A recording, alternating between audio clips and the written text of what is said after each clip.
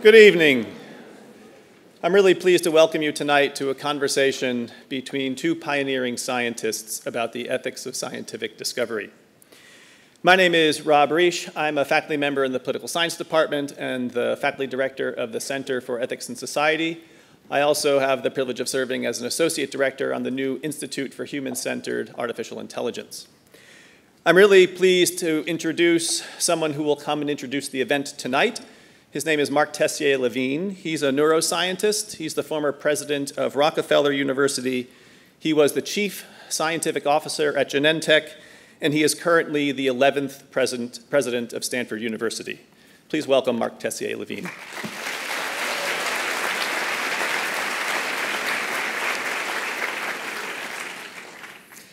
Well, thank you very much, Rob, for that introduction, and also thank you very much for your thoughtful leadership um, and for organizing this important conversation. We often look uh, to technology to improve our lives, and in these early years of the 21st century, twin revolutions in biotechnology and in computer science offer enormous promise. Within these two fields, more specifically, Innovations in editing the genomes of humans and other organisms, on the one hand, and in creating machine intelligence, on the other hand, can confer enormous benefits on humanity. But they also raise urgent ethical questions and questions about their societal impact. Your presence here tonight shows your interest in these issues and also your concern, and I want to thank you all for being here. Now, in the next few minutes, I'd like to briefly touch on the promise and peril uh, that accompany innovation, the opportunities for Stanford to make a difference, and the crucial roles that collaboration and leadership play in addressing these concerns. But first, I want to thank Professors Jennifer Doudna and Fei Fei Li for their conversation tonight, Professor Russ Altman for serving as moderator, and uh, the McCoy Family Center for Ethics and Society and Stanford HAI for bringing us all together. Now, the effects of innovation are felt all around the world, but here in Silicon Valley, we're surrounded by many of the sources and drivers of innovation. Experts here develop breakthrough ideas and build on them to create companies, products, and applications that can change lives and communities and even the planet. Stanford itself, of course, is home to many great breakthroughs developed by faculty and current and former students. The pace of that change is rapid breathtaking, and it's only getting faster. But innovation alone isn't sufficient.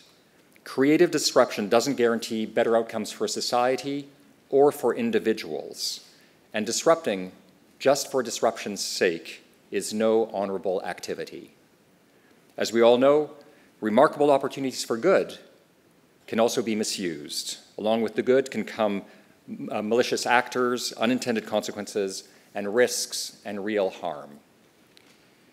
Just as Stanford is known for our role in great innovations, we also have a responsibility to consider the societal and ethical dimensions of our work, and we should strive to be equally known for that as well. That's why our new long range vision for Stanford includes a presidential initiative on ethics, society, and technology. It aims to infuse ethical and societal considerations into technological advances. Now, I understand that tickets uh, for this event went quickly. They were all gone within about half an hour after they became available, believe it or not. That demand reflects the intense interest in how innovations like gene editing and artificial intelligence can radically change how we live our lives. Gene editing and CRISPR are, are already having a sweeping impact across the life sciences in biological discovery, in biotechnology, in medicine, and in agriculture. AI similarly promises an array of transformational change in the future of work, of education, of medicine, of warfare, and of entire industries and economies. These two technologies have thousands upon thousands of applications and just as many implications.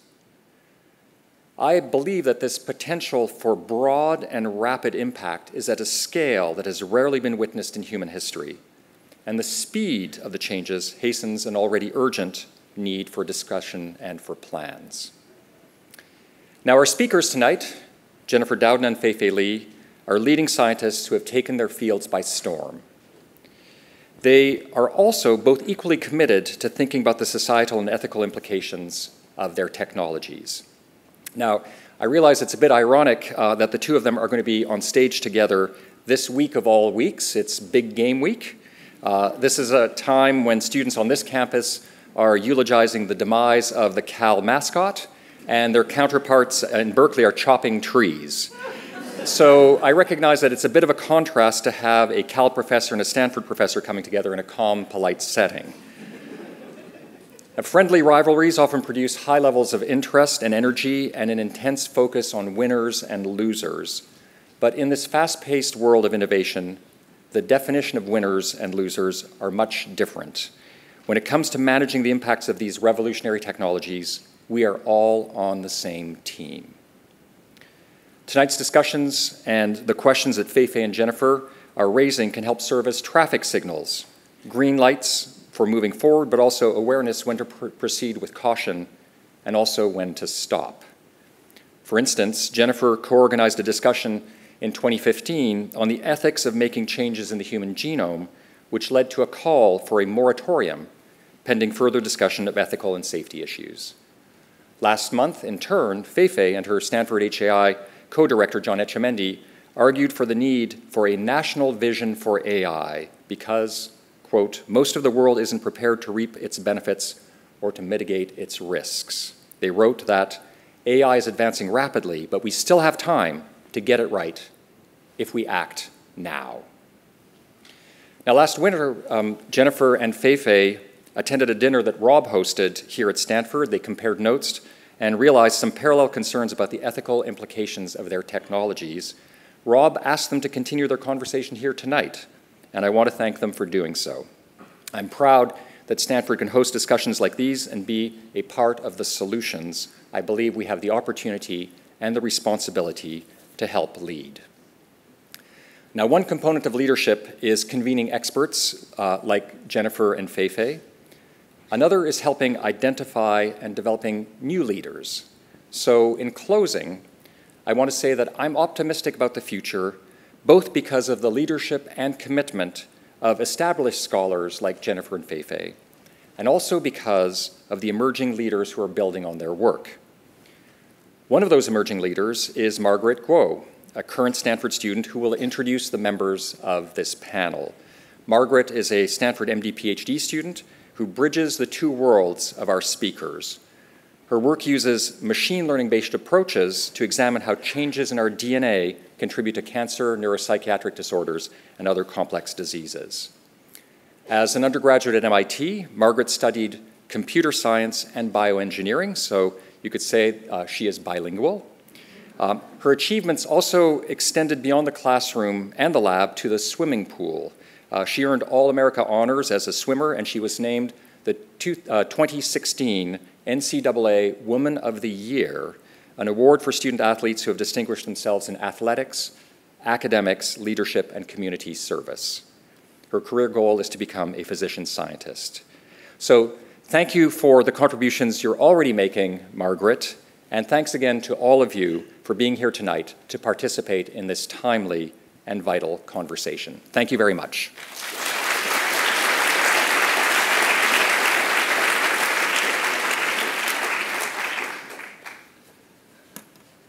Uh, thank you, Professor, uh, President Tessier-Lavigne, for that introduction, and I am honored to be able to introduce our three guests tonight.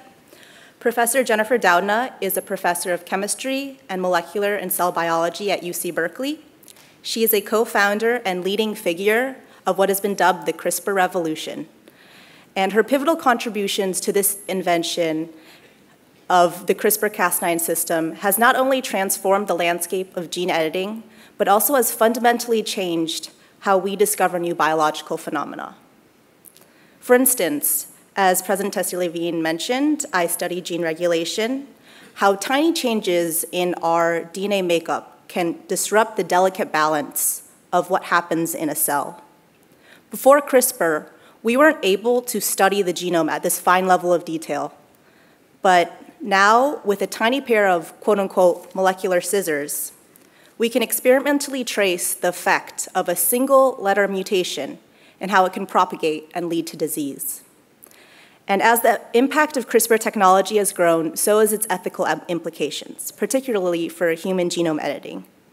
In recent years, Professor Doudna has led many discussions regarding the ethics of CRISPR to edit human embryos and the potential to control our species' genetic future. And I think that sounds a bit like a sci fi movie. So, our next speaker is no less involved in this broader discussion about the future of sci fi. I mean, of our humanity's future. Although she might be a little more worried about robotic takeovers instead. Professor Fei-Fei Li is a professor of computer science here at Stanford University and is also the co-director of the Stanford Institute for Human-Centered Artificial Intelligence, also known by the acronym HAI. During her sabbatical two years ago, she served as vice president at Google, as well as chief, chief AI scientist at Google Cloud.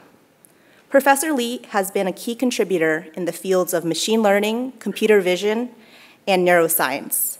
Notably, she is the inventor of ImageNet, which is a widely used benchmarking tool in deep learning and computer vision. In addition to her many technical accolades, she is also a leading voice advocating for diversity in STEM and for shaping public policy at a national level. Last year, Professor Fei-Fei Li spoke in front of Congress regarding the growing role of AI in our society. And in that hearing, she stated, quote, we like Professor Fei-Fei Li's quotes apparently, there is nothing artificial about AI. It is inspired by people, it is created by people, and most importantly, it impacts people. And that statement could well be the theme tonight, as for the first time on this stage, we're bringing together these two trailblazers, Professors Fei-Fei Li and Jennifer Doudna, as we delve into the emerging technologies in society and what we, as a people, make of it.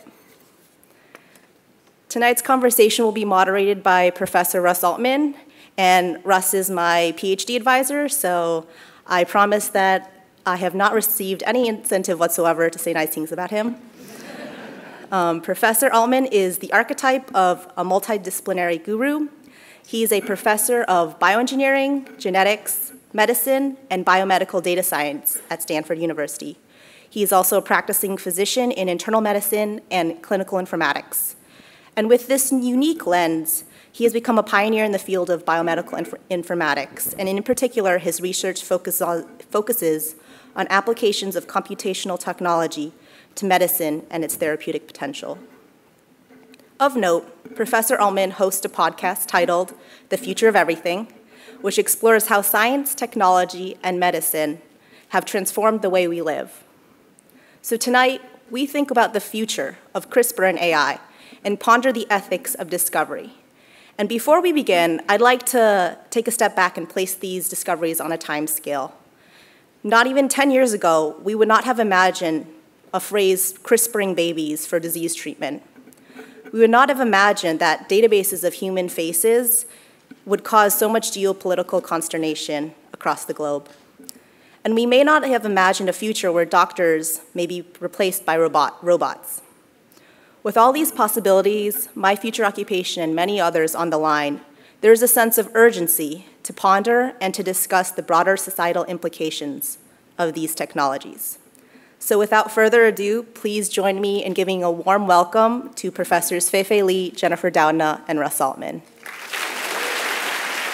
Well, welcome, and thank you for all the introductions.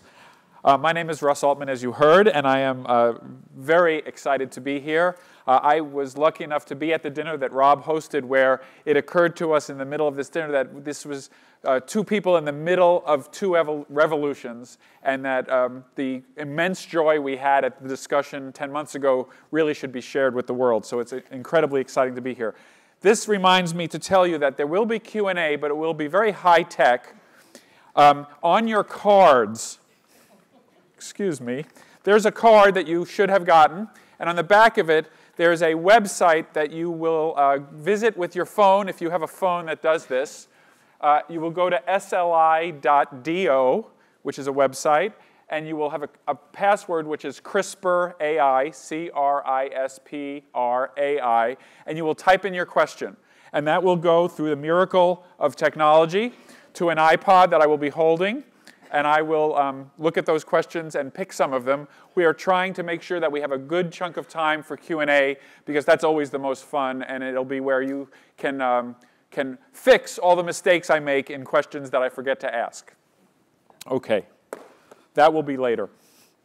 So uh, I'm very excited to have these two pioneers with us tonight, and thank you very much for coming. Uh, we uh, are, have two revolutions that are simultaneously happening. You've heard a, a little bit about it from Margaret and from uh, uh, the president and from Rob.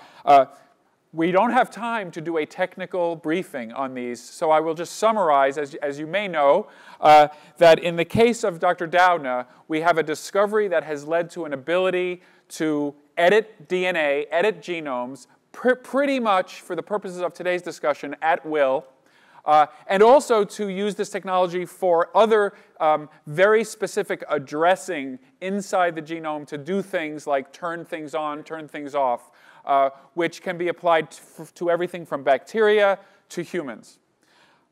There's your technical briefing on that.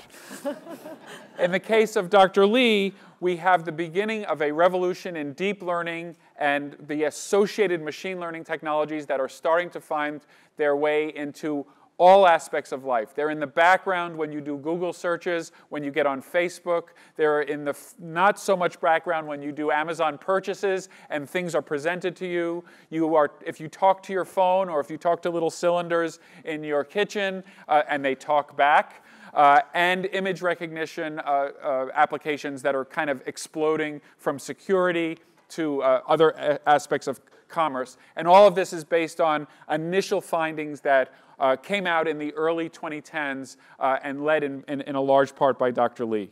So my question, my first question uh, to Fei-Fei, and then we're going to go to Jennifer as well. Was it obvious that the results you were reporting back when you were reporting them was going to be such a big deal and lead to a revolution, or was just this a paper like all your other papers, or was there an awareness?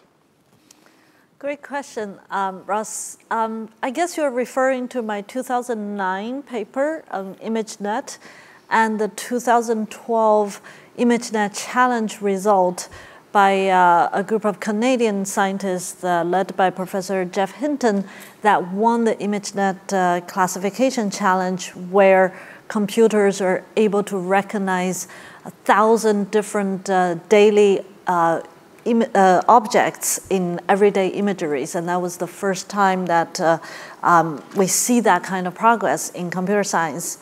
I think as a scientist, I, when we led the ImageNet work and, and put forward this um, ImageNet challenge, we knew that we were driving at a very big, what we call holy grail question in computer vision and AI, which is the question of enabling computers to recognize um, a huge um, um, plethora of uh, objects in everyday life. And that's an ability that humans um, have. But keep in mind, evolution took 540 million years to achieve that. And we were going after that question. So, from that point of view, we knew it was a big question we're trying to answer. And when seeing the result in 2012, it was a big scientific step.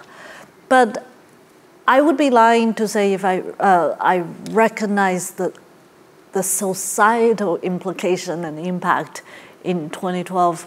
We, we knew the scientific significance, but I wasn't aware of the, the ensuing explosive, exponential um, um, increase in, in, in societal is through the commercial sector and, and others. So, so Jennifer, for the CRISPR revolution, uh, you, you often describe it as a curiosity-driven research. This is the immune system of some bacteria, not uh, obviously a revolution. But as these discoveries were coming, was it obvious for you? So I think an, an interesting uh, difference from what you just described, Fei-Fei, is that it sounds like in your work, you were very much, very actively going after an important goal in computer science. Right. And I think for, for us, those of us that were working in the world of CRISPR, which is this bacterial immune system, very obscure, Uh, before 2012, this was a field that was populated by a, literally a handful of labs around the world that were studying a very, you know, sort of uh, uh, esoteric area of biology. And so in my own work, we were investigating how this worked. I was fascinated with it because of the evolution of a system in bacteria that I thought paralleled something that happens in human and plant cells, and I was trying to understand those distinctions. But for us, when we did this curiosity driven project that led to an understanding of how this system could be harnessed to trigger changes in DNA, and we realized that could you know, work in any, any type of DNA, including in genomes.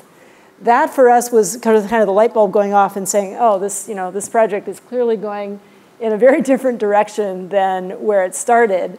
And, and for me, um, you know, did I realize initially that it would be a big deal? I would say that it was very clear from the work going on in the genome engineering field in general, which was in existence before the CRISPR technology, that this was an important thing to be able to do, to manipulate genomes. It was just that it was very difficult to do it up until that point. And I think for us, the, the really kind of exciting connection was realizing that this really esoteric thing we were studying was merging with a very important area of biotechnology in a way that would be broadly enabling. And, that, and that's, you know, so that was true. Now, could I have predicted uh, CRISPR babies and everything at that point? No, for sure not. But I think it was clear to all of us that were working on this that um, this was really an exciting breakthrough in biotechnology. So the, the, the, this, I just love this. But one of the things that you both have said is you knew it was big, but the degree to which big is big and then there's really big, and the degree to which it would take off might not have been clear.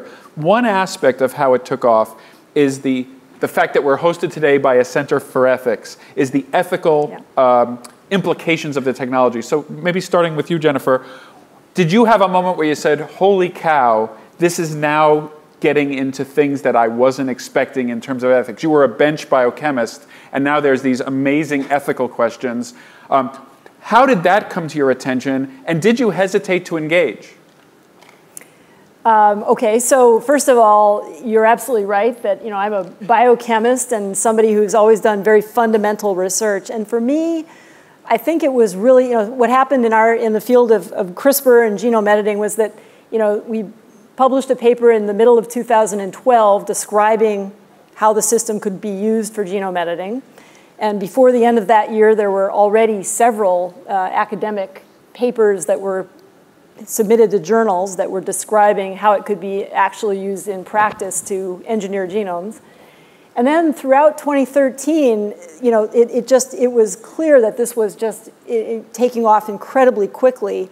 And by early 2014, there were already scientists who were using CRISPR to engineer the genomes of animals, including monkeys, in the germline, so making heritable changes in monkeys. And um, even though before that I had sort of occasionally thought to myself, gee, I, I wonder if this could be used in humans and in, in, in human embryos, that I think it was the monkey work when that was published in early 2014 when I thought, holy smokes, you know, there's, there's just no reason to think that people, maybe even right now, are already starting to do experiments of that type. And I think that was really for me the, the moment when I thought I need to I need to get involved, even though I, and I was quite reluctant, I have to say. I felt like this is an area I don't know anything about, uh, but I felt a real responsibility to engage in that discussion and start trying to put the word out that this is happening, the technology is moving very, very quickly. Regulatory agencies, governments are not even aware of this yet. But in the science world, this is a big deal. So I want to hear your story about this Feifei, but let me mention, you've already heard something very interesting that I'd just like to highlight, which is Feifei mentioned a paper in 2012, and Jennifer just mentioned a paper in 2012, and I think when we went back, these two papers occurred within a couple of months of one another in totally different literatures, in totally different journals, but this 2012, I think it was fall, uh, or late summer, that's a big moment in this whole story, and it's an amazing coincidence that we're within weeks of these papers being published. So, Feifei, what, is was there a moment, or is it more um, less, less moment, momentous uh, when you said, uh oh, this is ethical, and there's ethical issues, and do I want to get involved? Yeah, so um, 10 months ago, when Jennifer and I had this private dinner conversation at Stanford, I heard um, a summary of what you just said. And the thing that struck me the most is the striking parallelism in, in timing that the moment 2012 started the first paper in Deep Learning Revolution, um, I still remember that fall, I flew to Florence, Italy to announce the ImageNet Challenge uh, result. I think it's in uh, September, and the paper came out in December. Okay. And, um, and starting that point, it was a parallel story. By 2013, the deep learning technology is taking the academic um, world of computer science uh, and AI by storm. You're getting just many paper submissions and um, publications in computer vision, in natural language processing, in speech recognition, and, um, and also um, possibly a small, probably not so small, difference between biology and AI is by 2013, the commercial world, the tech companies are moving fast into deep learning. We're starting to hear um, deep learning startups already getting acquired um, uh, uh, by um, big tech. And by 2014, which early 2014, the moment that kind of hit me um, by surprise is suddenly in the public media, we're hearing people talking about AI as summoning the demon.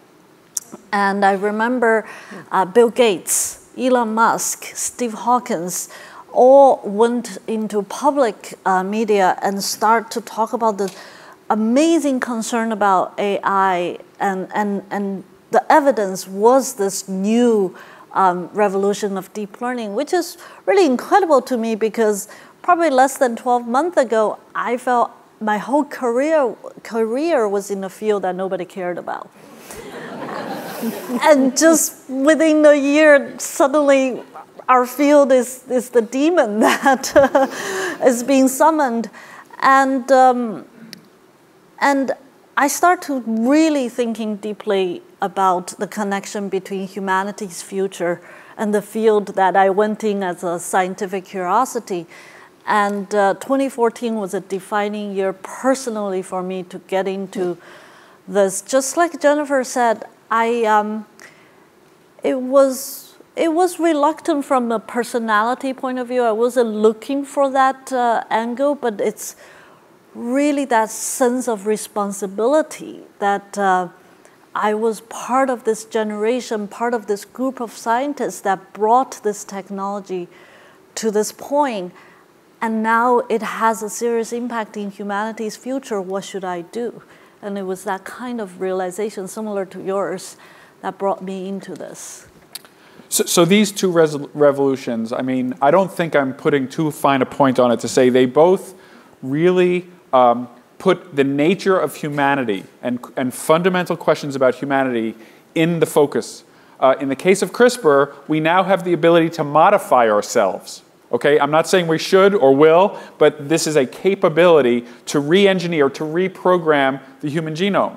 In the case of AI, we have an ability to have machines that perform as well or better than us at, at tasks that were traditionally considered uniquely human tasks of like recognizing faces and, and, many others. So these really go to the question of the future of humanity and, and, and choices that we need to make.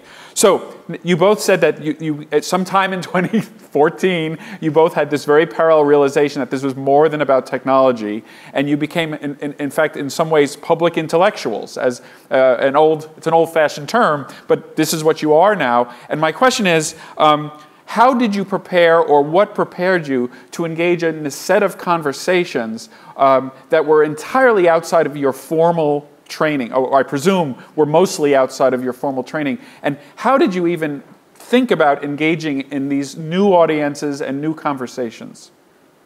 Jennifer. There's an easy question. Yeah, well, in my case, I had a lot of hesitation. I have to be frank. You know, I, I, I like you, Feifei, I felt a personal sense of responsibility on the one hand, On the other hand, I thought, you know, there are people who do this professionally, and maybe we should leave it to them to think about this. But, uh, but in the end, I, I really felt deeply that uh, the scientists who are involved in fundamental research of the type, you know, that we had done with CRISPR needed to engage because who, you know, in the end, who else really deeply understands the science?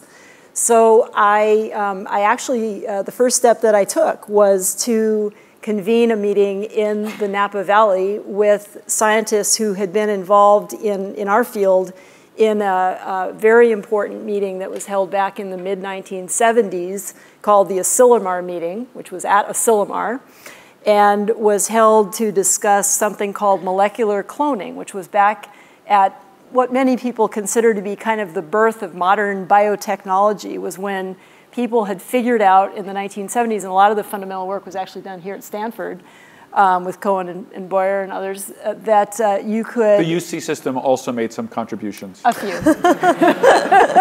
Thank you for pointing that out, Russ. I appreciate that. You know, I'm wearing Stanford colors tonight. Uh, but you know, it was it was uh, you know in the 70s when this happened, it was an exciting time when people had figured out how to cut and paste pieces of DNA and, and that triggered a, a, big revolution in biotechnology. A lot of you know, early companies in this field, like Genentech and others, that got started around that time. But people at that time also recognized that there were some real, uh, or at least perceived risks to the technology. And that Asilomar meeting addressed those risks. And it was kind of the idea of scientists coming together and trying to ask, can we police ourselves? Can we control our own technology that, that we're developing. So in that same kind of spirit, we organized a meeting in early 2015 with a couple of the scientists who had been at the Asilomar conference, Paul Berg from Stanford and, and uh, David Baltimore from Caltech, and then a number of other folks. Some of them are here tonight. And uh, it was, that for me was the beginning of my own education, really, about how you even approach a complicated question about technology, where it's going, how do we, how do we educate people, how do we educate regulatory agencies, how do we think about it ourselves, uh, you know, and about where we would like to see this going, and what role should scientists be playing in, in all of this. So that was hugely helpful. And frankly, it's, I, have been on a trajectory ever since. I feel like a student again in many ways of kind of learning how to think about this and how to approach it. So this is a constant part of your life now. This constant. This is a part, and you consider it part of your job. I do. Yeah. So as you realize these challenges, how did you manage it, Fei Fei? So first of all, I totally agree with Jennifer. It's a constant part of my learning. I still feel like a student in the in the topic of ethics and and you know machine learning fairness and, and all this. Um, in 2014, we, we just talked about this personal realization that uh, that uh, I feel that sense of sense of responsibility.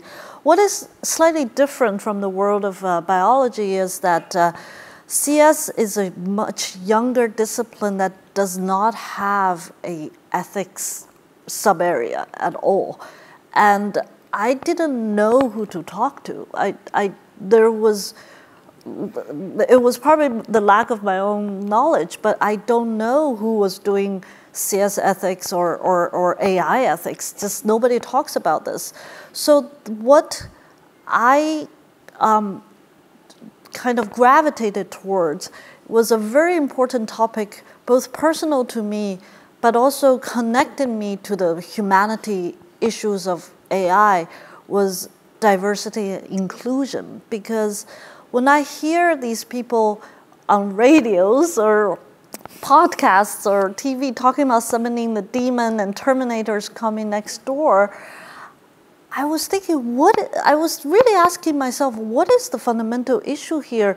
Is they're worried about the drivers of this technology um, going against humanity and creating that kind of um, um, adversarial creature or, or piece of technology that would be harmful for for uh, humanity or, or society.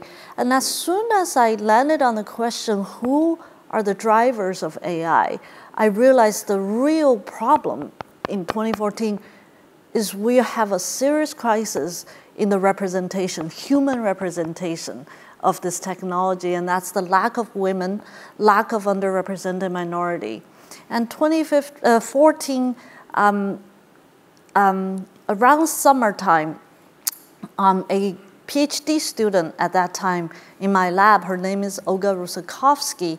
It was her last year of PhD, and she came to me and said she was bothered by this problem of lack of human representation and she wanted to do something together. So we decided that we are going to pilot a uh, summer program at Stanford AI Lab to invite high school students from underrepresented background, mostly women, to um, come and study um, AI for a few weeks and uh, approach this tech, invite them into this technology through a human-centered perspective um, and, and encourage these underrepresented students to become tomorrow's leaders. Um, fast forward 2015, similar to your um, NAPA meeting, was the first uh, summer camp at Stanford for what now we call AI for All program. Um, and that was the first class.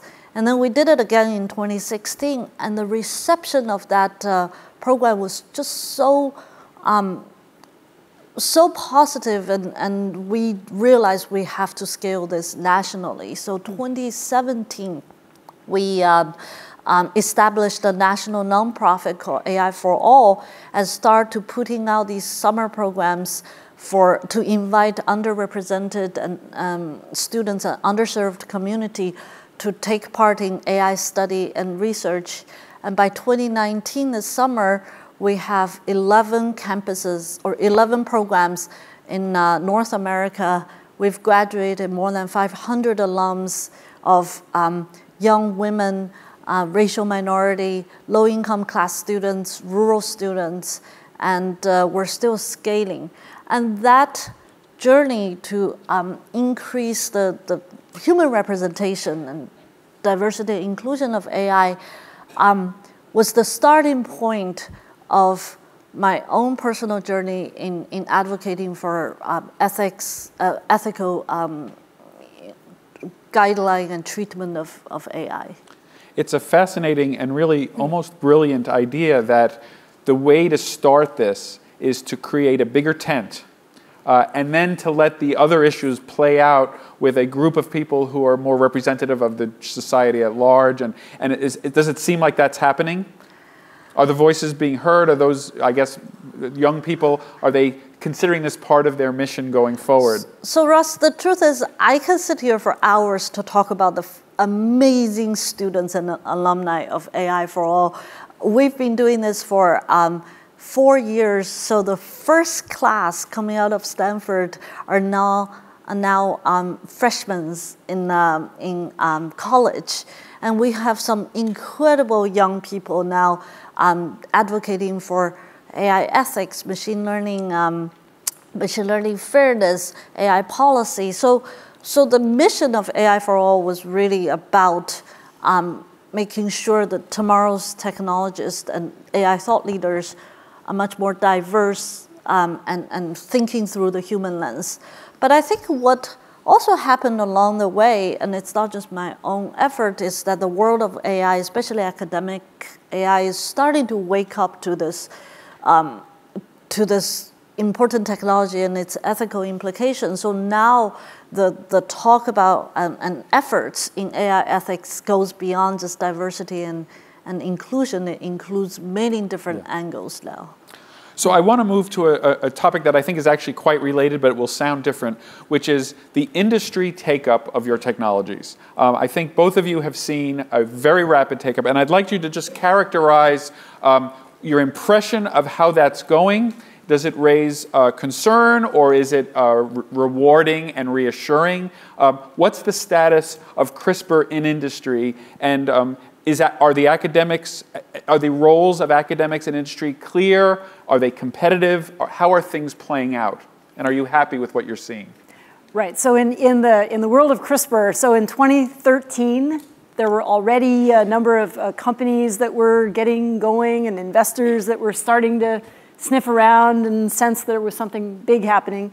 And so there were several companies that got launched that year, I think by around by the end of, the end of 2013. And uh, today there are th three of those companies have gone public, so they are now publicly traded.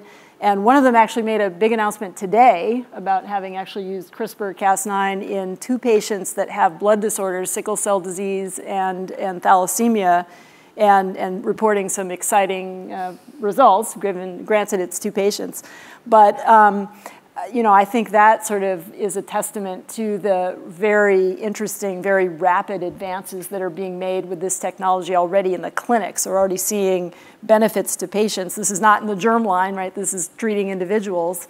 But I think it, you know, it at least, you know, looks so far looks, looks just like for, the, for those well. of you who are not biologists a germline modification would be one that would then be passed on to your children and their children right. so it would be fixed or at least in the human population and in your offsprings it's also possible to um, make changes to the dna that's local to that one person but will not be passed on to their progeny and so those, that's a big difference in both ethical and technical circles Yes, uh, yeah, absolutely. And, and, I, and I should be clear that the vast majority of companies that I'm aware of right now that are using CRISPR are using it for uh, you know, making changes in individuals, but not in, not in the germline, not for heritable uh, changes.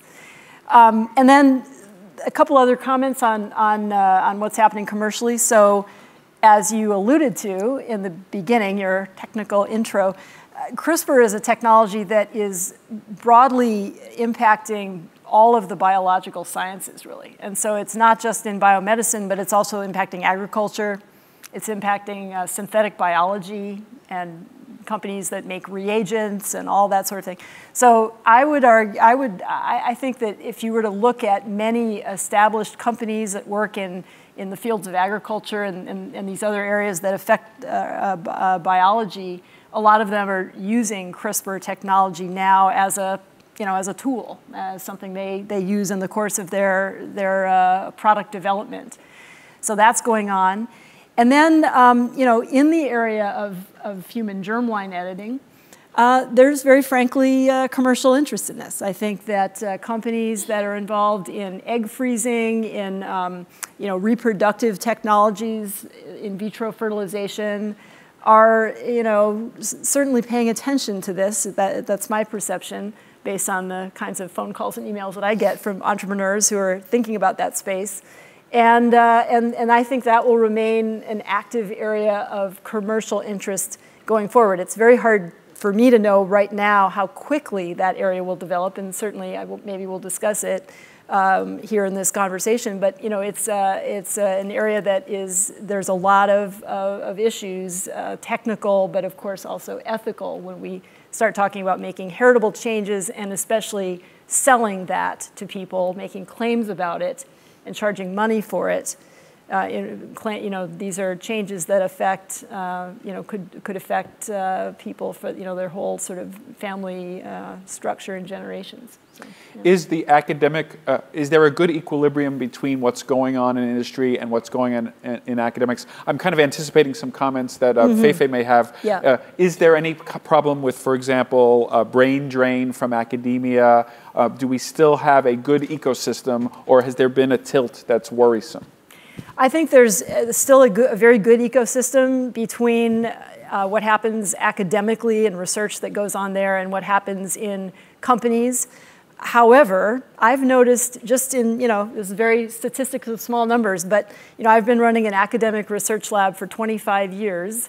The vast majority of students that I've trained in my lab in that period of time have gone, in the past at least, have gone uh, the academic route largely. Uh, few of them have gone into industry in the past, but a lot of them stayed in, in academic science in different ways. And just over the last two or three years, I've seen a very interesting change where my very best students, and, and actually last year I had five students graduate with their PhDs from my lab. In the end, all five went to startup companies. And all five are doing CRISPR-related work, but in startup companies.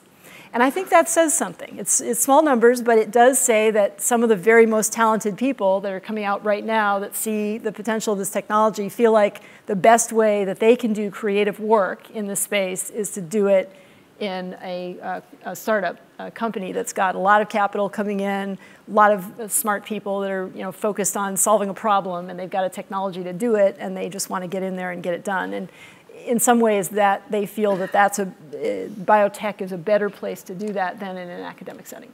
Yeah, so Feifei, I, yeah. I, imagine you might have things to contribute on this issue. What is your sense of the equilibrium between academics and uh, industry? What kind of industry? What, what, where are we? I suppose industry has heard of the word AI by now. so I feel like the world before 2012 and after 2012, especially after 2016, after AlphaGo, is just turned upside down for academia in many ways. Because um, I've also been an academia professor for almost 20 years, um, actually, no, 15 years, and, and plus PhD, 20 years.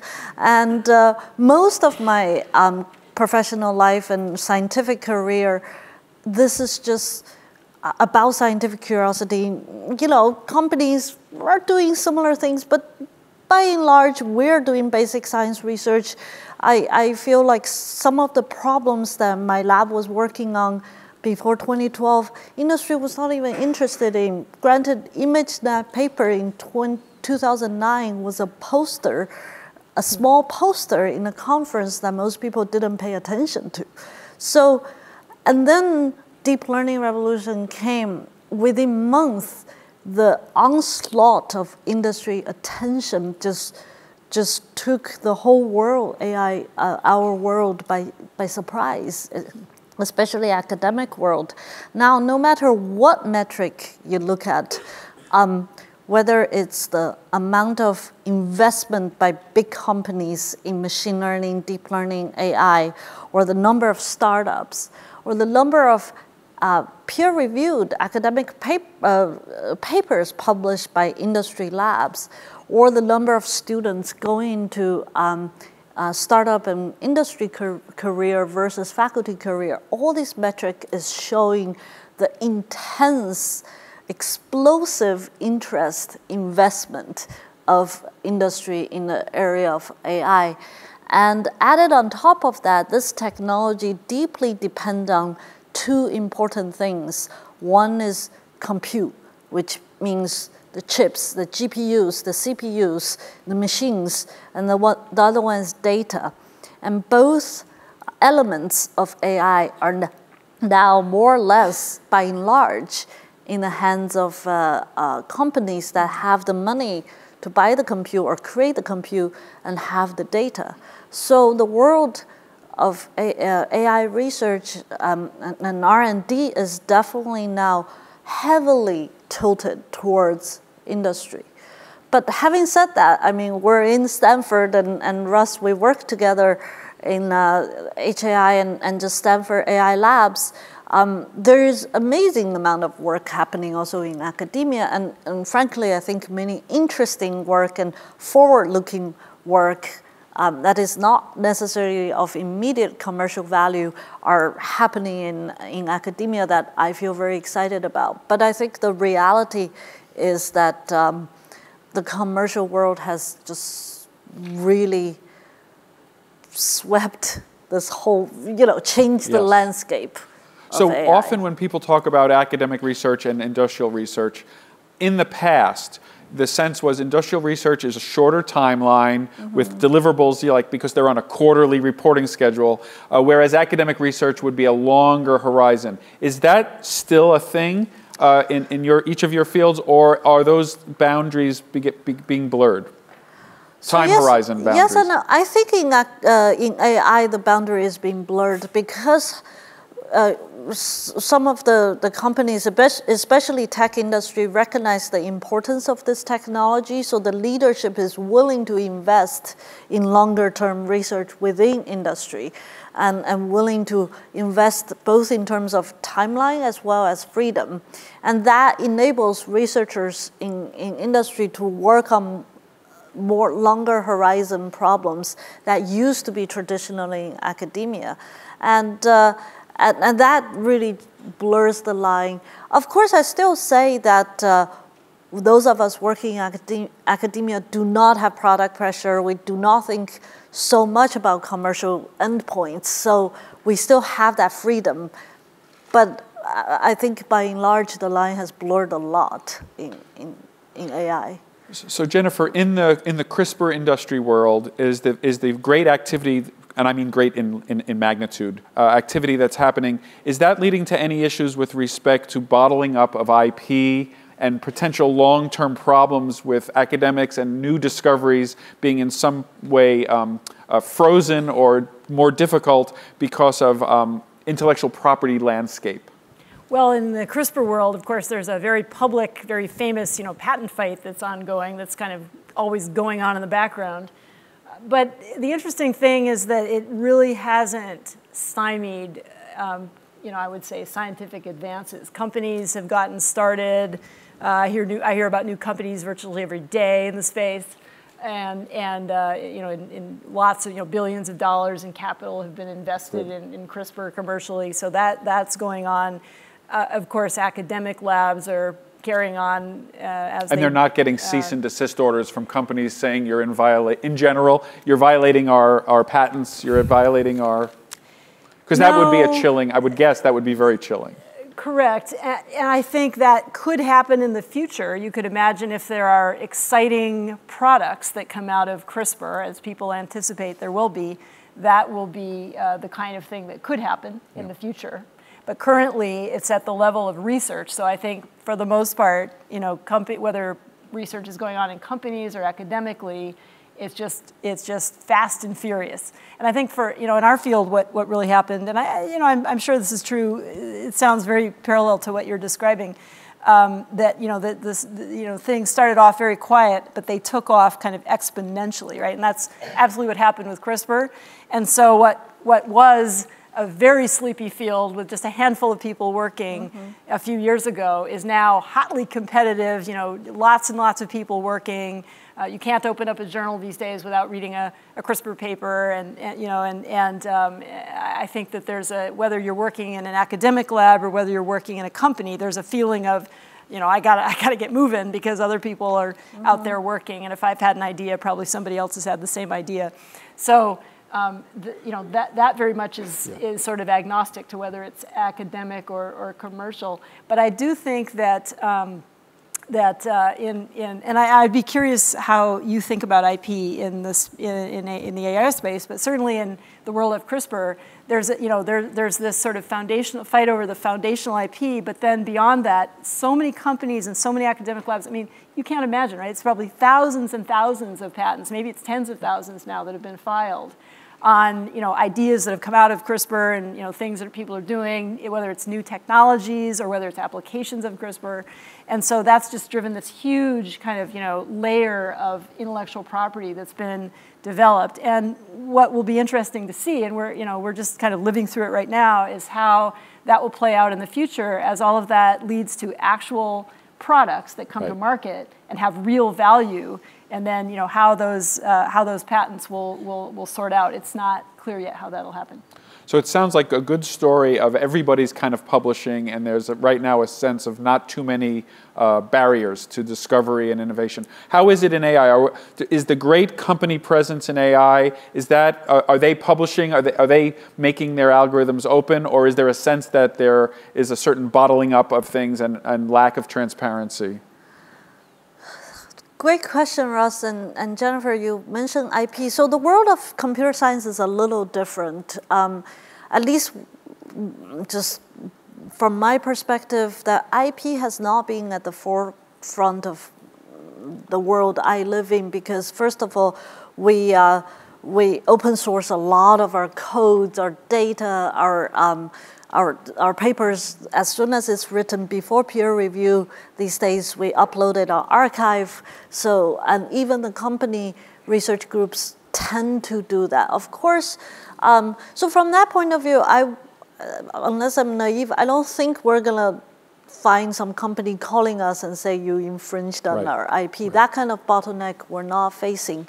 Um, in terms of um, so, so again, I, like I said, they do have, in industry researching AI, the, the resource, the compute right. resource, and the data resource, and the engineering resource are significantly more than, than academia. So, so that differentiates. It differentiates the kind of research, it differentiates the kind of projects. Um, you know, for example, AlphaGo, everybody knows about it, is an engineering feat that it's hard, much harder to imagine that academia would take on. The, the, the amount of just engineering of that system, um, that it's much more likely, and indeed it happened in industry. So, um, so that's a little different. But, uh, but um, um one thing I do want to say is that one thing I find very um, hopeful and, and, and, and participating and also observing uh, with a lot of curiosity is that um, more and more of my colleagues, and including myself, because of this intense industry pressure of their uh, the research, we're differentiating in a different way.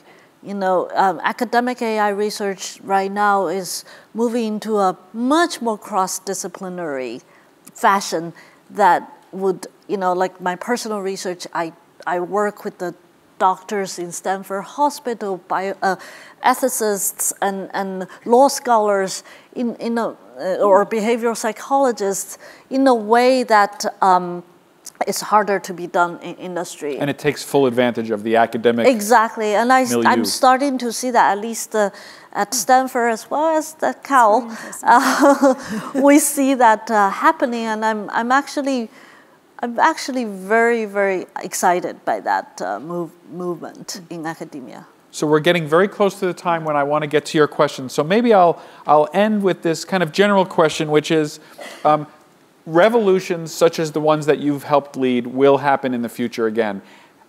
From your experience over the last, I guess, seven years, how is society set up to respond to them? Uh, have, have we learned things, and, or do you, think there, do you believe that there are things we should be doing to prepare for the next kind of inevitable wave of innovation? Since you've been in the tempest, I'm wondering what advice, if any, you would give policymakers or governmental officials about ways to manage these uh, explosive innovative technologies? It's a big question, I recognize. Well, um, I guess two aspects. First, I think we haven't seen the ending of the AI story at all. It's just the beginning. And uh, I think we need to recognize that uh, as we push forward this technology, we've got to work just as hard, if not harder, on putting the boundaries, the ethical guidelines uh, into this, the development and deployment of this technology. If there is one piece of not advice but wishful thinking I can give to policymakers or just leaders of our civil society, um, at least from technology perspective, I would still come back to invest in the people, invest in the diverse, and inclusive group of people who should be together at the driver's seat of any technology and discovery because by investing in that most diverse group of people, we ensure that human representation is maximally there and, and, and whatever we make together collectively is in the interest of the, the maximum um, humanity.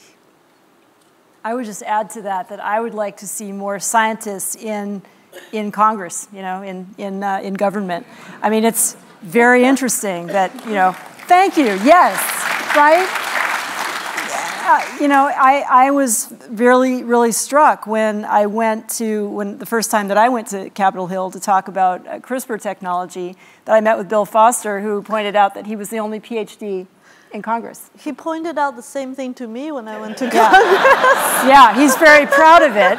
Uh, you know, but but this is this is a problem. So I think I think we really need to advocate for more. Uh, diversity in our in our representatives, including uh, some scientists. I can't help but think that you probably live in different districts, and I'm thinking. well, well, okay. So very good. So I want to remind you. uh, that sli.do with a event code CRISPR, CRISPR AI, all one word, is where the questions can come in. I'm now going to go check to see if there are any questions. There are. Whoa! um, what's the biggest criticism facing CRISPR today, and how do you answer it? The one, I guess, it's the one that you hear the most. Well, let's see, the biggest criticism of, of CRISPR, I guess the biggest criticism, I mean, you know, CRISPR babies have gotten a lot of attention in the media. And I guess the thing that I hear about the most is, um, is I don't know if it's a criticism, it's really a question about, about that. But, but the flip side of it is people who write to me, I virtually every day, I get at least one email a day from uh, somebody who has a genetic disease themselves or genetic disease in their family. And a lot of these are, you know, real. I mean, I'm just, I'm really honored that people share their personal stories with me. It's really touching, and um, and and it's not, it's not a criticism, but it's just a, a desperation, really, that's being expressed. It's, you know, how do we, how do we accelerate the promise of this technology so that it can actually help my child at the time that they need it, or help my husband, or help my mother. You know, it's that kind of thing. And, and so, and I feel this very personally myself, because I, I, feel this, you know, in, in, addition to the, you know, as academics, we always feel this, you know, there's competition in the field, and I've got my, my papers published, but I feel, I feel it very differently now. I feel like patients are waiting. Yeah. Patients are waiting, and they can't wait very long. So we really need to get a move on and get this technology to a point where it can really, really help people. So I, I feel that urgency all the time. Um, this one is, I think, for Feifei, although we can all chime in. Uh, there's concern about the future of deep fake technology. So these are the very realistic, yeah. but fraudulent is one word, um, simulations of people speaking or their faces. Um, uh, what problems do you anticipate and how can they be mitigated? Yeah, so deepfake is, like Russ said, is, um, okay, let me take a step back. Um, creating um, imageries and, and, and videos and documents that are not real has always been there, right? We can even Photoshop um, fake pictures. But the recent AI advancement, especially a particular family of algorithm, has really accelerated and lowered the bar um, of creating um, fake imageries and speeches and, and, and videos. And already there's a lot of concern about disinformation and how that not uh, only um, participate in manipulating um, public minds and, and, and manip manipulating people as well as influencing the process of democracy and, and, uh, and even more severe um, severe consequences, especially if this uh, technology is being used and exploited by both nation states but non-nation states uh, actors. So um, mitigating, um, you know, I come to law. We just like any technology, um, it there should be laws to to um, regulate, to govern um, um, the the malpractices of of any piece of technology or tools, and to incentivize good practices. So so already there is a lot of uh, conversations and work starting to be done at the intersection between AI and uh, regulatory policies and laws, and I think we need to, you know, speaking of urgency, we need to accelerate that and, and make sure that's happening. And I know from your work in HAI that you've had boot camps for congressional staffers to try to increase the chances that they write draft laws that are helpful and not mm -hmm. harmful to everybody. Yeah, we have boot camps for staffers. We also have uh, now at Stanford, uh, cross-listed uh, classes between law school and CS and multiple ones looking at this in different angles. The next question is a little bit of a palate cleanser. Uh, it says, does the fact that Dr. Doudna's name can be read as do you DNA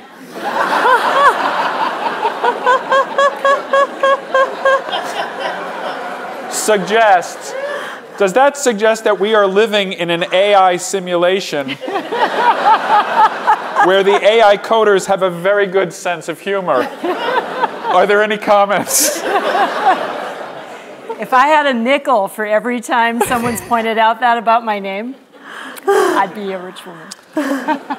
Um, there's a question. Um, I was going to say from anonymous, but these are all anonymous. Um, uh, but it, it kind of goes to a question that uh, a comment that Fei made. How do we encourage students and faculty to undertake the kind of interdisciplinary work that will be needed mm. to kind of address the ethical and societal challenges of both these technologies, uh, and, and encouraging them, encouraging them to avoid being stuck in an academic silo? Yeah. Uh, well, I, I, could take a stab at that. So I, I was actually fascinated with what you just said about how your own work has evolved, it sounded like, from mm-hmm. being, you know, focused more narrowly initially to now being broad enough that you're spanning, you know, many of the schools represented disciplines here at Stanford that go well beyond science. I think that's extremely interesting. I, my own work, I would say, hasn't quite to that extent, you know, uh, sort of been that cross-cutting, but I think it could be in the future, and it probably should be. And so what I did, you know, a few years ago was started the Innovative Genomics Institute in the Bay Area, which is right now a, you know, a UC uh, partnership between Berkeley and, and UCSF. And, um, and that institute, in addition to fostering uh, applications of genome editing, is really focused around the future of the technology, very broadly speaking. So thinking about the legal aspects of it, the mm-hmm. uh, ethical aspects of it, the educational uh, you know, opportunities and challenges of, of genome editing. So increasingly, we use that institute as a way to to do this, to try to encourage people to come in. We have, you know, we, we have a lecture series that isn't like a typical uh, uh, science department's lecture series where we have lawyers speaking, we have you know people in sociology that are speaking, we have people, we have uh, you know uh, business people. It just very, it is pretty broad. So I think that's what I'm trying to do yeah. to to spur that kind of uh, interaction. Yeah, so I, I, guess I can speak both personally and also about the work at HAI, right? So personally, I just always find interdisciplinary work most fun. Even in my earlier days as a scientist, uh, crossing neuroscience and machine learning and computer vision is where the discovery, frontier of discovery is. And nowadays I find that if we want to really work on questions that matter, you know, either to, to people's lives or, or to the implication of the technology, it naturally lends itself to the interdisciplinary um, boundaries. And uh, and also just like you, Jennifer, I think at Stanford we sense so much appetite and demand by our faculty and students to be um, integrating in, in different ways that were traditionally not happening. So this is why at HAI we're crossing ethics, history, law, design thinking, medicine, education, sustainability, and just in less than half a year of our launch, we're seeing incredible research projects and courses and, and affinity groups and dialogues happening. And it seems like this is, uh, this is what the moment calls yeah. for now. I just want to thank you all. I have like nine screens of questions, and I also want to apologize that we will not get to all of them, but I will try. Here's one. In a pluralistic world, and I think a lot of people worry about this, in a pluralistic world that is rapidly changing and highly decentralized, why should we expect any why should we expect any alignment on ethics around the use of CRISPR or AI? And I think people are thinking about local, regional, national, international differences in um, how people think about uh, priorities. And so, is how do we think about this pluralistic world and the chances of, uh, of having a, uh, or should we think about a uniform ethical approach to these technologies? Yeah. Well, we talked about this a little bit yeah, at, at dinner before before we came came in here. Yeah, it's a it's a really great question. I actually think about this a lot. I think that, uh, and actually I was talking about it with uh, uh, President Tessier Lavigne, uh, the same issue, um, because we were talking about the fact that at least in, in our field, in, in, in biology, as, we, as I alluded to earlier, in the 1970s, there was a meeting in California, the Asilomar meeting, that convened scientists to think about how to control the science of, of, uh, of, of molecular cloning that really did set a, an, an, example of how a scientific community could come together to try to police itself with the use of a technology. And it wasn't perfect, but it was an interesting um, example of how that could, could happen. And I think it set a really good precedent for things that happened later in, in the biological sciences, including uh, CRISPR. However, you know, now, so that was in 1975, now in, you know, in, in the mid 2000s, now, you know, the world of science has really changed. Science is much more global than it was at that time. Uh, there are many, many more scientists at that than there were at that time.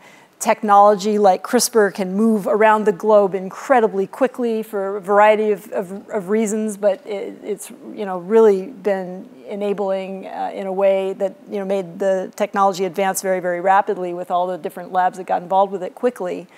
But that also means that it, I, I think it is really challenging to think how you could build the same kind of community-wide consensus around how it should be utilized. And I think, I'm not sure how to do it. I, I guess my, my, hope is that there will be enough, uh, you know, work internationally by highly respected scientists that we can at least have a, if not a you know, global consensus, at least a global framework that sets a, uh, a, a set of principles that will be that become the, the basis for regulatory agencies globally to, to act. But whether that will really happen remains to be seen. So I, I agree. I think pluralism doesn't mean we shouldn't cooperate, doesn't mean we shouldn't listen and respect to the differences, either it's between individuals or groups or, or countries. I think when Jennifer and I had a conversation a few days ago, we, we actually talk about what would be our magic wand wish in the world of CRISPR and AI. And uh, both of us pretty much said exactly the same thing. If there were a magic wand, can there be an international framework where different groups can come together to agree on certain important things principles, of, yeah. of principles yeah. of CRISPR and AI, but also agree to cooperate in different ways that that uh, matters for their own, you know, different groups. Um, so I guess that's so kind of related to that. There are a ton of questions, and that's why I'm going to be asking it about the idea of every technology has a dual use. That is to say, the beneficial use that many times the inventors think of, and then the nefarious uses that other people think of, or maybe the inventor as well. And, and so I'm getting a lot of buzz here about warfare scenarios, dual use uh, for both CRISPR, yeah. bioterrorism, as well as AI in, in, the sense of weapons and automatic weapons. Uh, it's almost unfair, but how do you get yourself around these issues? And uh, do you have any thoughts about um, this dual use issue and has it impacted you in, in significant ways? And do you worry about it? So, my undergraduate degree is physics, and inevitably, I think about the, the, the nuclear physics and Manhattan projects and, and, and all that. So, um, you're right that every technology is a dual use, is potentially can be dual use. I, I think this is why we need to talk about it. This is why we need to have ethical principles. This is why we need to have laws and international framework. So um, it's, uh, it, it's even more important that given how powerful these technologies are, that uh, we anticipate these potential usages and dangers and, uh, and, and try to get ahead of ourselves as a society, as a country, as a species. And it speaks directly to your both yeah. of your previous comments about an international framework would be very helpful in, in, in that setting, I would guess. Uh, yeah, yeah, yeah, absolutely. Um, there's, I don't know if you wanted to add to that. Go ahead. So there's, a, there's also a lot of questions about do our young scientists and young engineers, do they get the training they need in ethics uh, for the future? And if so, good. and if not, what needs to happen? They're, they're just you know, a young scientist, a young engineer, they're trying to acquire technical skills. Te they're trying to become virtuosos at their field. Um, they're working very hard. It is not easy to get them to put their head up and say, I would like you to think about the ethical implications. They say, yeah, yeah, yeah, I'll do that at the end of, my, you know, later when I have a big, when I have a big discovery like these folks, then I'll start thinking about it. Um, has, has, is there a move towards changing the way we teach ethics to in, in professional education? So I want to share with you one moment and then answer the question. So I took a sabbatical at Google in 2017 and, and then went on to um, the larger half of 2018. And that was, 2018 was exactly the year many people call the techlash happened.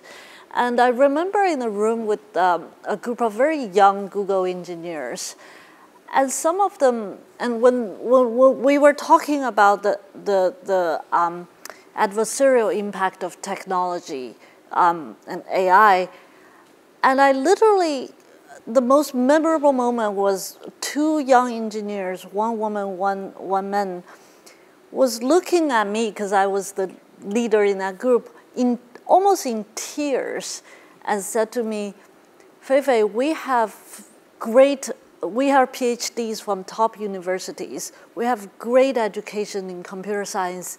I know machine learning inside out. I can code TensorFlow. But when my friends and my family talk about these issues, you know, whether it's fairness or weaponization or privacy, and I see the news stories that the, the technology that we could potentially create can harm people, I don't even know where to begin to think about this. I don't even have a language in my head mm. that I can, I can just put, even speak of it. I had zero classes or zero training in this, yet now I'm a privileged engineer, software engineer, machine learning engineer, machine learning scientist in, in tech industry creating this. And I really felt that moment struck me so vividly, and I recognized that I, I was towards the end of my sabbatical, so I was returning to Stanford. I, it really speaks to that sense of mission I, I, I had returning to academia as an educator that um, we absolutely need to prepare the current and the next generation so that no one in five, ten years, or even two years would be in the same situation and look at me in tears and not knowing what, what they can do about it because they had zero preparation. And here I, right after I returned to Stanford, I really want to say that I just watch in admiration and, and, give a lot of credits to my colleagues like Rob Reich, uh, Mehran Sahami, um, Jeremy Weinstein, and, and Tino Cuéllar, many of my colleagues across Stanford campus um, from ethics, from law, are, uh, from computer science are coming together and start to uh, teach classes like this. Uh, Rob, your class had 300 students sign up last, last time it's offered. And uh, so the short answer is, Russ, it's not enough, but it's, hap it's happening and we need this to be happening in every single university and college campuses and possibly in, um, in, in, even earlier part of our K-12 education? I would say in, in, uh, in my field, in biology, uh, we're probably not as far along, oddly enough, as maybe you are with the, in terms of education about mm-hmm. ethical impacts of technology. This is just my, my personal perception of it. Because what I see at Berkeley, where I teach a, I teach a very large uh, undergraduate class in molecular biology for sophomore level undergraduate students. And, um, and, and we don't, you know, we don't, in that class, we don't get into ethics really at all. We focus on, you know, we talk about, we talk about CRISPR, but we talk about it from sci the science perspective of it. Um, and, and all the other developments that have happened in biology, we're talking about the science and, and trying to educate students about that, but not about the broader impacts of the science and how we think about it. And partly it's just because, you know, we have a packed curriculum, there's a ton of stuff to teach, and, you know, But, uh, but I think it also is just a cultural thing in our field that, um, you know, we're, we're still very much in the vein of creating scholars who deeply know their subject, the science and, and subject defined pretty, pretty narrowly, I would say, rather than saying we need to create uh, people who are, you know, educate people who are going to be knowledgeable broadly, not only about the details of the science, but also the impact of the science. And I'm not quite sure how to do that.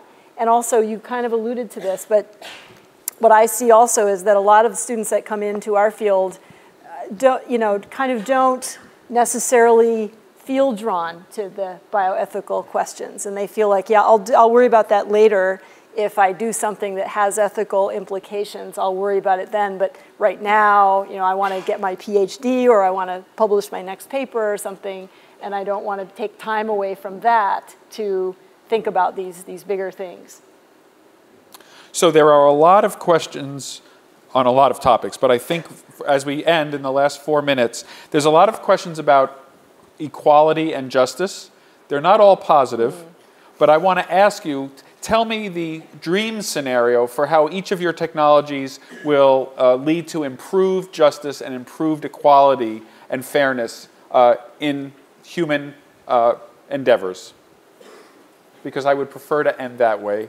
There's a lot of yeah. more negative in implication in some of the questions. so in AI, um, my dream scenario, right? Um, so on equity and justice, this is a technology that can, to start with, can call out injustice. It has enough powerful algorithm to detect the pattern of bias, pattern of injustice, and, and pattern of unfair whatever treatment of people or, or, or situations. So that's, that's one positive usage, uh, usage. This is also a technology that can lower the barrier of entry and lower the, the barrier or, or cost.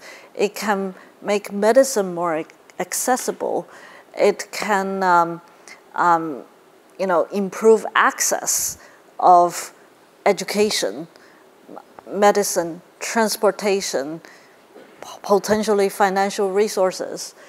This is a technology that can um, improve productivity by augmenting people, not replacing people. And my dream industry for AI to help is government.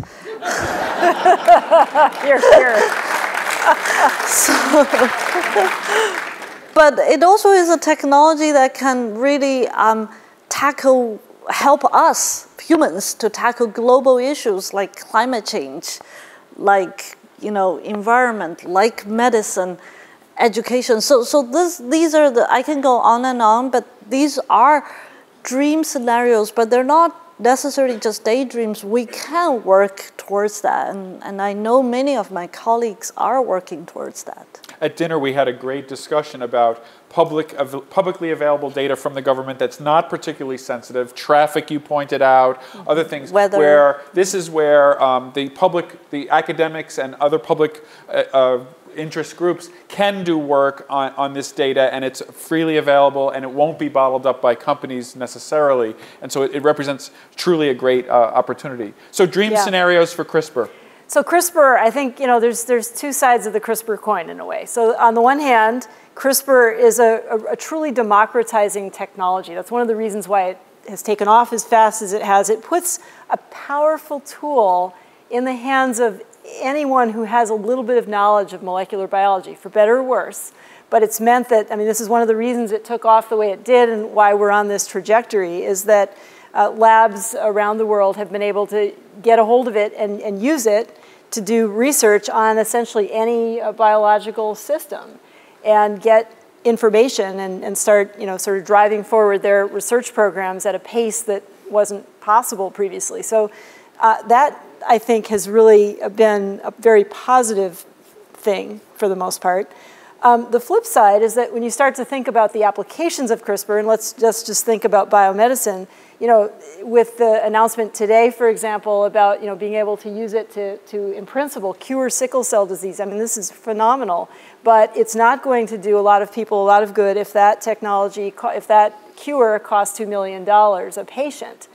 Uh, so what I am there very, are treatments that cost two million dollars. I mean, it's you know it's crazy, and so uh, we're we're really you know, and this is one thing that I think academics can really contribute to this is to think hard about how are we going to take this very exciting development and the way that it could be deployed biomedically, but do it in a sustainable, affordable way I think it will require more technology development, you know, but maybe things that companies won't want to invest in because they will take a, it'll take a little bit longer to do it.